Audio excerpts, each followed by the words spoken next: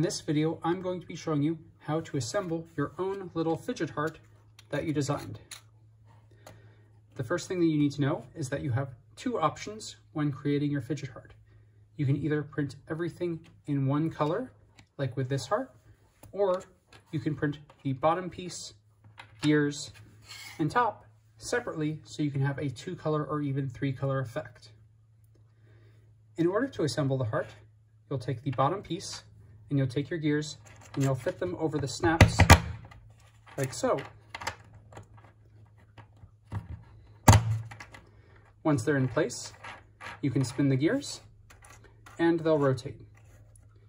In order to secure the top to the base, you will need to put three drops of super glue here, here, and here, and then place the top on.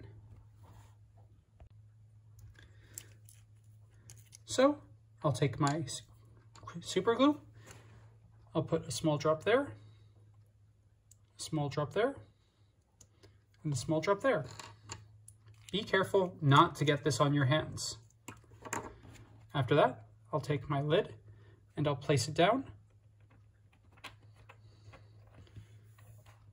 And after holding it for in place for a few seconds, one, two, three, four, five, it should be firmly glued in place.